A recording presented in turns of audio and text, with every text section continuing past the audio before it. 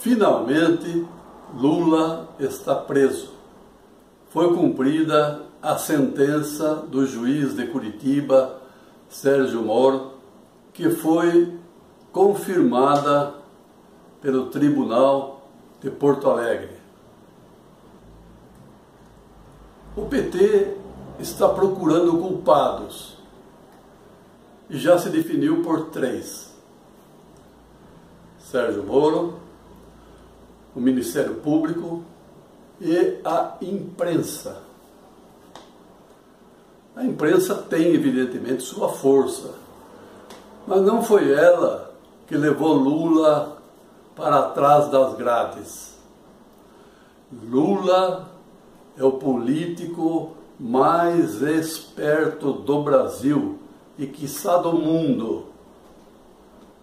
Ele se beneficiou do petrolão, do mensalão, mas não de maneira direta. Não se acha um documento, uma gravação onde Lula aparece se incriminando. Ele é esperto demais. Ele botava os outros à frente e só se beneficiou com o triplex do Guarujá, com o sítio de Atibaia e com o apartamento onde reside. Mas não colocou em seu nome, não. A, o triplex do Guarujá ainda está em nome da OAS, construtora OAS, que não vendeu para ninguém, vendeu todos os apartamentos, menos o daquele. Aquele era do Lula, deixar para o Lula. Mas Lula não deixou botar em nome dele nem da mulher dele, não. Ele é muito esperto muito esperto. Por isso, não existe uma prova cabal.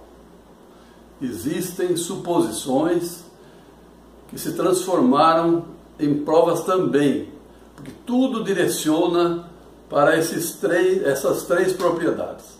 Mas, falando nos culpados, ontem a Gleise Hoffmann, presidente do PT Nacional, disse que o principal culpado da prisão do Lula é a Rede Globo. A Rede Globo tem fama de fazer e desfazer. E ao longo de sua, dos seus mais de 50 anos, deve ter feito e desfeito. No entanto, atualmente, a Globo pratica jornalismo. Eu assisto todos os dias o Jornal Nacional, eu acompanho o noticiário da Globo e verifico que ela noticia os fatos e às vezes a defesa ou as explicações dos atingidos tomam mais tempo do que as notícias ou do que os denunciantes. A Globo exagera às vezes. Deputados do PT dois ou três deles aparecem todos os dias, do PSOL, todos os dias, dando uma declaração que não haveria necessidade de ouvir essas pessoas. Mas a Globo ouve, para demonstrar que é um canal isento, que é um canal imparcial, que evidentemente tem suas preferências. Evidentemente tem suas preferências. Mas procura agir com imparcialidade. Em Salto, isso aconteceu também, se é que ainda não acontece, com o jornal Taperá. Muitos políticos derrotados em eleições aqui realizadas culpavam o jornal Taperá por suas derrotas. Aconteceu com Eugênio Coutro, aconteceu com Jesuíno Rui, aconteceu com Pílcio Nunciato de Lely, aconteceu com João Conte, e esse em escala ainda maior, que até hoje ainda ele, ele diz que o Taperá que encerrou a carreira política dele. Uma bobagem, uma besteira. O Taperá é um jornal de credibilidade, um jornal de força, mas não tem essa força que João Conte imagina que tem. Quem perdeu as eleições, quem foi excluído dos postos eletivos foi ele próprio. Jesuíno perdeu uma, uma eleição certa feita e culpou o jornal Tabirá, porque as pesquisas indicaram outro candidato. Quando ele venceu as eleições baseado nas pesquisas, ele reconheceu, oh, realmente o Taperá estava certo, é isso mesmo. Tal. Quando eles ganham eleição, ah, tudo bem, o Taperá estava certo. Então, em certa época, diziam até que o jornal Taperá decidia as eleições da cidade. O jornal Taperá bota quem ele quer na, no comando da prefeitura. Uma besteira. Chegaram até me chamar, maldosamente, de Roberto Marinho de Salto. Hoje alguns amigos ainda me chamam dessa forma, mas na base da brincadeira. Naquela época achavam que eu agia como Roberto Marinho teria agido na, na TV Globo. Uma bobagem, uma besteira. O jornalista não tem essa força, não a nível nacional, desculpe o nível, né? não só em nível nacional, mas também municipal. O Jornal Taperá nunca se manifestou a favor de um determinado candidato. Nunca. Eu posso fazer isso, qualquer jornalista pode dar uma opinião.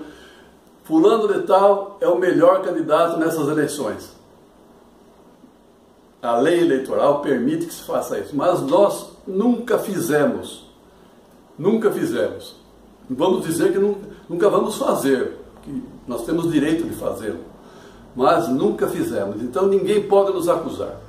E a Glaze Hoffman, com sua capacidade inventiva, com sua capacidade de ver as coisas sob a sua ótica nada correta, está culpando a Rede Globo. Ela é culpada por Lula ter preso. Ela se esquece que Lula fechou os olhos na época do petrolão, que Lula fechou os olhos na época do mensalão e até recentemente apoiava os corruptos do seu partido que não é o único partido político, aliás, não é o único partido corrupto do Brasil. Temos também o PSDB, que tem seus membros corruptos, e isso está sendo aprovado. Tem o PP, que se, do prefeito Geraldo Garcia, inclusive, que se envolveu num mar de lama aí impressionante.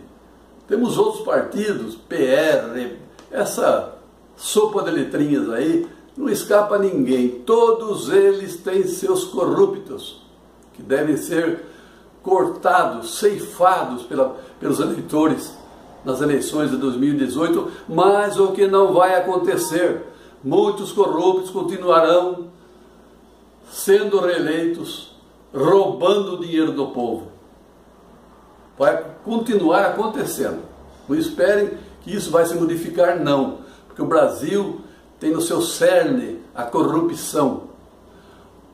Não, evidentemente, o brasileiro comum, aquele que vive do seu salário, não, evidentemente, o político que age corretamente, não, evidentemente, a maioria da população brasileira, mas a quantidade de corruptos que temos no Brasil é coisa impressionante.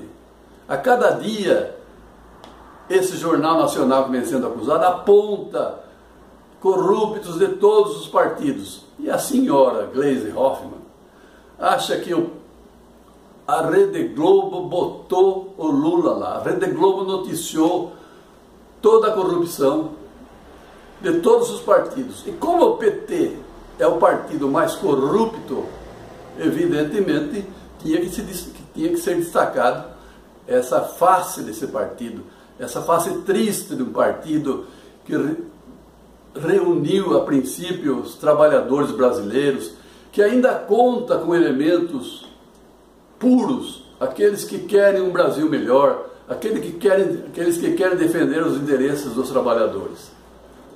No entanto, a senhora Grace Hoffman culpa a Rede Globo pela prisão do Lula